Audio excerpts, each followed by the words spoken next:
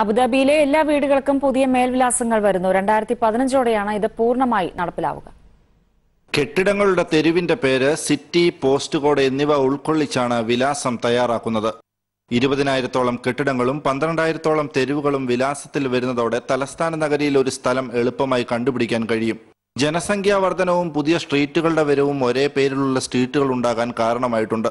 ഇത് ഒഴിവാക്കി വിലാസത്തിൽ കൃത്യത വരുത്തുകയാണ് അധികൃതർ ലക്ഷ്യമിടുന്നത്. അബുദാബിയിലെ നൂറ്റി ഇരുപത് ജില്ലകളും ഇതിൽ ഉൾപ്പെടും. മുനിസിപ്പൽ അഫയേഴ്സിന്റെ മേൽനോട്ടത്തിലാണ് പുനർനാമകരണം നടക്കുന്നത്. Asianet news Abu Dhabi.